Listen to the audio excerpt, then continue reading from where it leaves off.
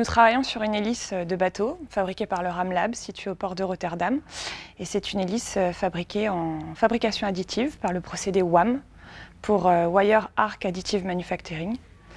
Donc la base, c'est un moyeu en acier forgé sur lequel on vient faire des dépôts successifs de fils métalliques fondus euh, jusqu'à obtenir euh, des dimensions qui concordent avec la pièce que l'on cherche à avoir.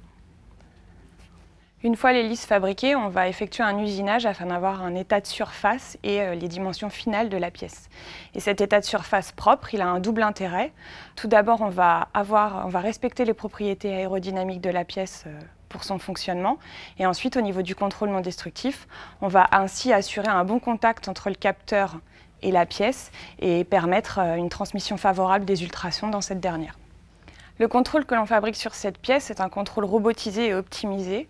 Robotisé parce que la sonde est mise en œuvre avec un robot qui va gérer précisément son déplacement sur la pièce. Et optimisé parce que l'on va utiliser une sonde qui a été adaptée spécifiquement à la pièce et aux matériaux qui nous intéressent. Les inspections ultrasonores peuvent être euh, effectuées avec différentes sondes, comme celle-ci. Par exemple, si on cherche des défauts euh, de plus petite dimension, on va augmenter la fréquence du capteur. A l'inverse, si on veut euh, notamment travailler dans des zones qui sont proches de l'état de, la surface d'entrée de la pièce, on va travailler avec des sabots de différentes dimensions pour favoriser l'inspection dans ces zones-là. Pour réaliser ces contrôles, on s'appuie largement sur un logiciel de simulation qui s'appelle SIVA, qui permet d'optimiser un moyen de, contrôle. Ce logiciel est développé par le CEALIST, mais au-delà de la partie simulation euh, d'un moyen de contrôle, SIVA permet également de traiter des données expérimentales qui ont été acquises pendant les phases de contrôle pour permettre de dimensionner, de caractériser des défauts présents dans la pièce.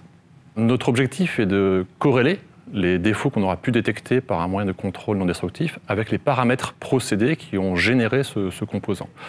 cette approche va nous permettre de garantir la bonne plage de paramètres du procédé qui permettra de limiter l'apparition de défauts.